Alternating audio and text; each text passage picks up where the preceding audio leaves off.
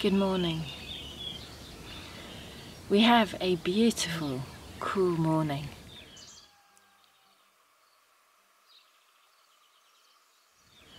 And um, and because of it, I was inspired that I thought it was time, as May begins to, to end and spring comes to an end, to give you a spring tour of the garden so far.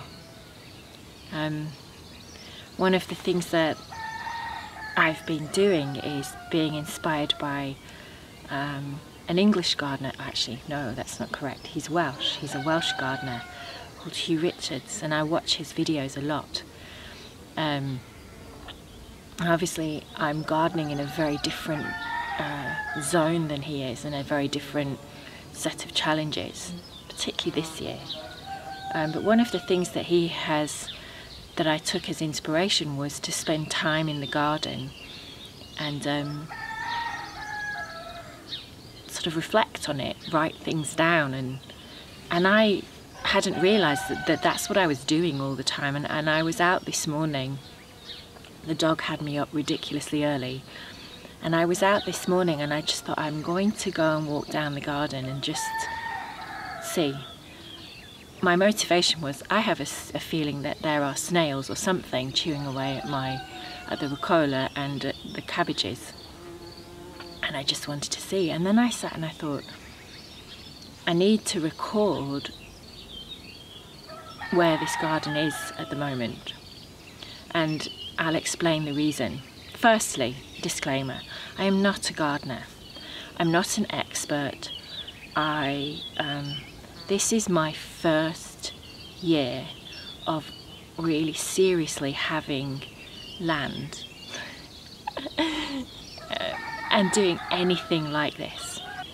My gardening experience has extended to um, a few pots. So I've grown flowers in pots because that's all I had available. So as I take you on this tour, this is a work in progress and I as a gardener and as a as a person experimenting am a work in progress. So bear with me. Let's start. This is the, I'm going to call this the garden terrace because it's the top terrace. Um, it's the terrace that you come to from the two houses behind me. Um, so we have two living buildings and then the farmyard and then you come out onto this area. Um, so we'll start from the top. Um, we've got an, an area that's wild and overgrown and you've seen videos of me half starting to to turn that into um, a terrace area. So the top end will be our more formal area. We want to have a space where we can come out in the evening because this part, once the sun drops over the mountain, that terracey area is beautiful and cool. In autumn, um, when the sun shines on it in the afternoon, it's, it's lovely and warm. So it's a nice place to go but that's a work in progress. We got some of it done, but not all of it, and then things happened and we just didn't get around to doing it. Um, and then I've planted a, um, what I want to say, a more formal bed. I wanted flowers and um, growing things, so not to eat, but things to use. And the purpose of that bed is things that repel mosquitoes. So there's lavender in there, there's citronella in there, there's mints in there, there's sage in there.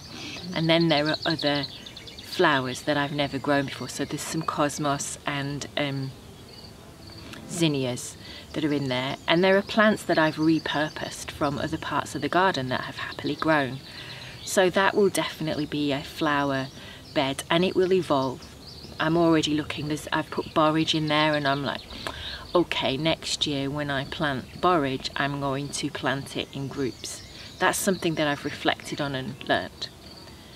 Um, then the area here, um, I cleared and I wanted this to be a more intentional um, flower area, like um, a medicine sort of um, face area, face plants that are good for face. So I have planted, there's um, calendula in there and I planted echinacea and I tried to plant some um, uh, chamomile. But the chamomile that I've planted I, I can't see evidence of.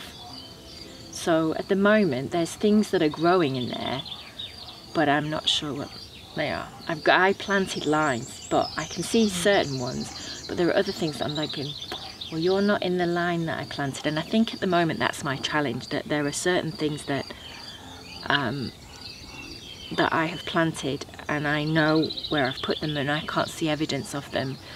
And then the weeds come up and I'm like are you a weed or are you a plant? So I'm trying to understand that. I have planted things in in in in pots. As you can see I've got a whole pot area behind me. So again I'm learning to do that. Then in front of me I have a wild area. That's an area I didn't clear, I just let nature do its thing, mainly because there were some um, field marigolds that have blossomed since I think before January and they just were lovely and it just added colour to the to the garden and I didn't want to lose them. So um, I think that their season has now finished because they have gone to seed. So this area is a bit not a lot happening. Well, that's my perception and I need to be patient and not mess with it. So in that one, I wanted that very much to be like a kind of useful plant. So there's plenty of dandelions in there. I've planted some hyssop in there. And that was also where I put chamomile. Chamomile is growing naturally on the mountain. It's all over the place and I noticed it and, and the ones that have I found around the garden um, this one was a tiny little um, plant and I, I checked it on the plant identifier and it was like that's chamomile. Okay. So I've put it in and it's just happily grown. And I think that's something that I'm learning is looking at the plants that are growing naturally on the mountain and that I can see in the garden and going, okay, well, I'll use you as the base. So there are lots of blue flowers at the moment and the yellow, I think they labelled them as oxeye daisies, but they're different, but they just grow naturally. My neighbours gave me a lovely um, gardening lesson when I was in the in the third, in the first terrace, and they were pulling these yellow flowers up going, no, no, no, no. They used a word and I can't remember what it was, but basically they're not useful for anything in their eyes. So the goats couldn't eat them and you can't eat them and that's it. No good, no good. And yank I'm like, don't pull my flowers out. Um, I have streamlined that, but what I'd like to do is encourage the the blue flowers and the yellow flowers and plant them along the edge of the property underneath the vine so that you have those growing and some of the chamomile and and and encourage them round the edge. And then you just have a beautiful display of flowers around the around the edge of the the terraces. So um, yeah so it's using I think that's my homage to using nature. As you go down the garden path we've got the beans growing. The beans are growing over the lettuce. One of the challenges of the garden is creating shade now. Um, that's a real challenge. Um, this edge of this terrace gets an awful lot of sun and it um, it's quite intense for the amount of time that it is. So I'm trying to grow the beans. They're quite happily um, uh, going up the poles now, so that should work, I hope. Um, and the lettuce are happy, and there's rucola in there. So that's like a salad.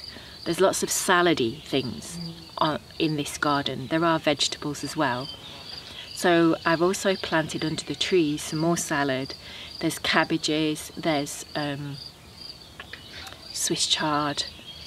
Um, I've tried, I've grown them from seed, um, a form of kale neroli, so it's the crinkly one. Now that's grown from seed and I've put that under the trees. From winter I planted kale at the bottom end of the garden curly kale, the kale that I'm used to.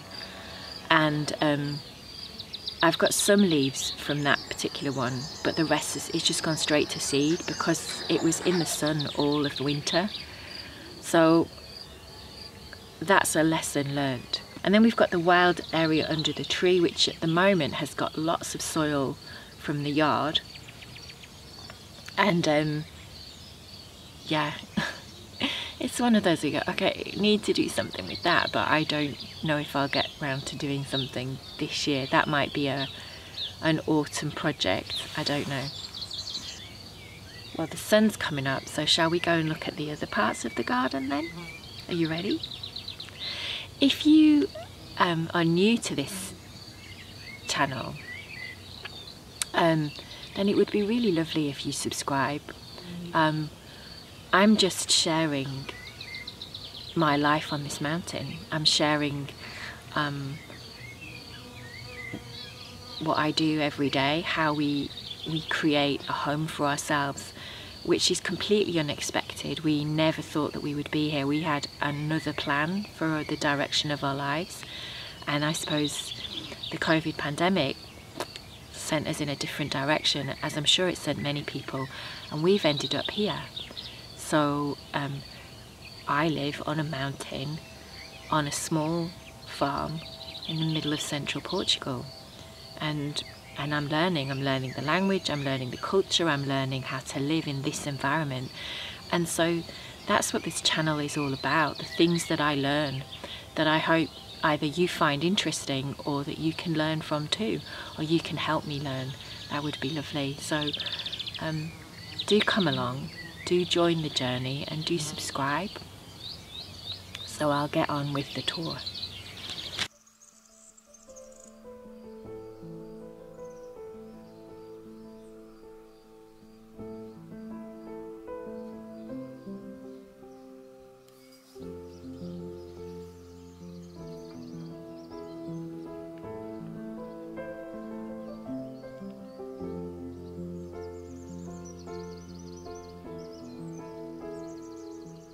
So here we are on the on the rest of the garden. So there are three terraces here.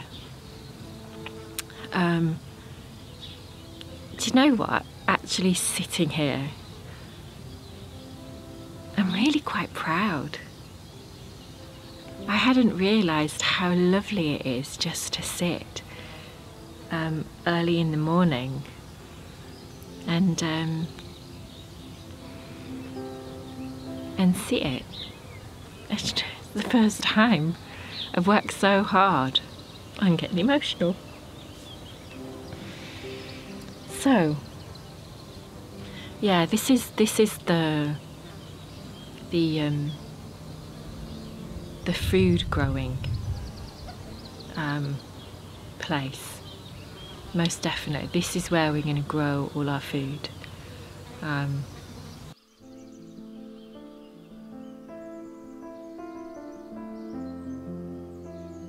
at the at that end are tree guilds.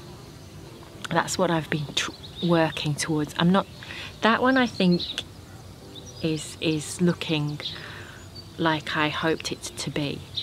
Um, so there's uh, um, clover as ground cover, and then there's I've based that as a herb one. So the yellow flowers appeared and I didn't rip them all out. So there's um, there's mints in there, there's lavenders in there, um, there's chives in there, oregano. Um, what else? Did I put? Caraway, I think I tried putting in there.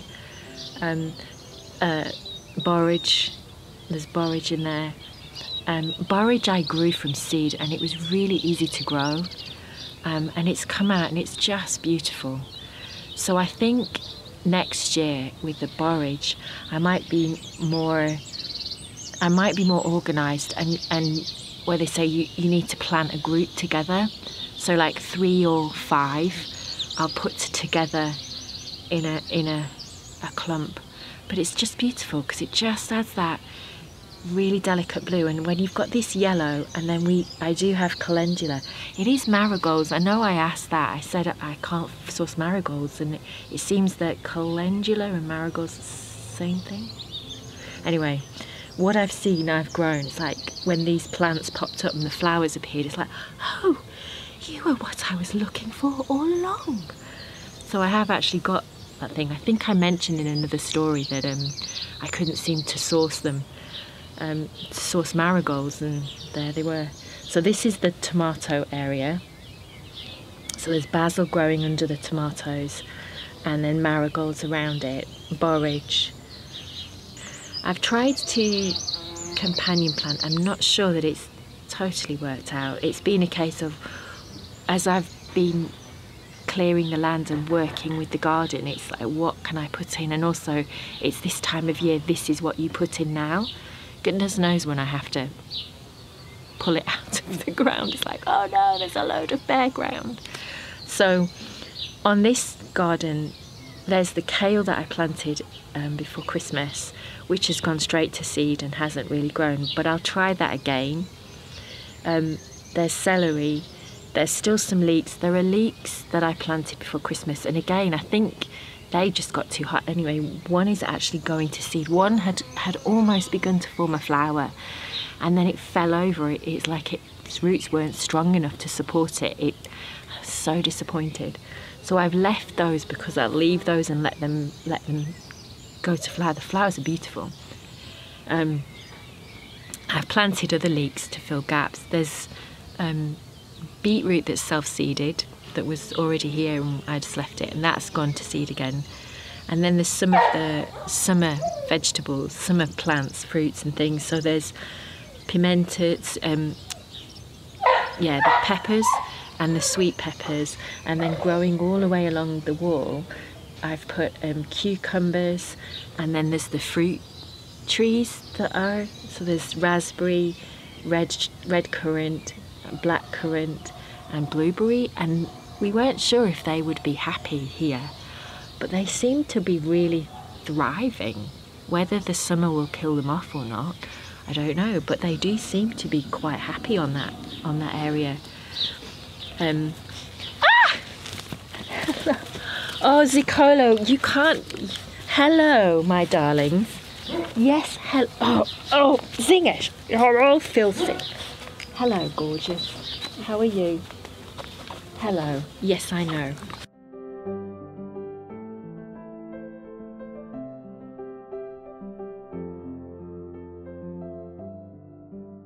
It's just been so nice to sit to sit in the garden for the morning and look at it. And then I'll come back at two, three o'clock in the afternoon when the sun is at its highest and its fiercest and I'll be like, oh my poor garden. I, I could waffle on for ages and my tea is going cold as normal because I waffle on and do other things and run around doing jobs and then I don't drink my tea. So, and I'm looking, I'm thinking, oh, I need to sort the vine out and make sure that's not growing out of hand. Done some of it, but there's the neighbour's one. See, I'm waffling. Anyway, thank you very much for listening. I hope you enjoyed my garden tour. I'm going to go and plant some more salady vegetables, salady things under the trees, pick some more of the mange tout, eat some breakfast because my stomach is grumbling away and drink my slightly lukewarm tea.